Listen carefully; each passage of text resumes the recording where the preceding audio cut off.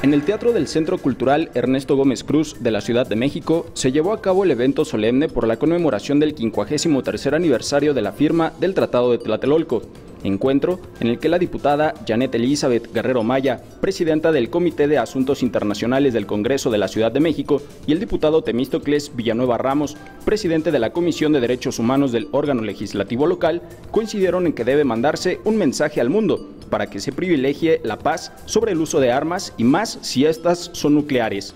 A dicha celebración también asistieron la diputada local por el Partido del Trabajo, Circe Camacho Bastida, y el alcalde por Cuauhtémoc, Néstor Núñez, además de representantes del Organismo para la Proscripción de las Armas Nucleares en la América Latina y el Caribe, entre otras instancias internacionales. Hoy es Día del Amor y la Amistad y en ese marco creo que también resulta sumamente relevante recordar que es el 53 aniversario de la firma del Tratado de Tlatelolco, una firma, eh, un documento que aglutinó a 33 países de América Latina y el Caribe, único en el mundo, y cuyo objetivo es la proscripción de las armas nucleares y motivar, fomentar eh, la cultura de la paz. Creo que es importante retomar y sobre todo en estos tiempos pues tan eh, impredecibles, donde el escenario mundial muchas veces pues se vuelve complicado. necesitamos apostarle a que podamos estar en un mundo en el que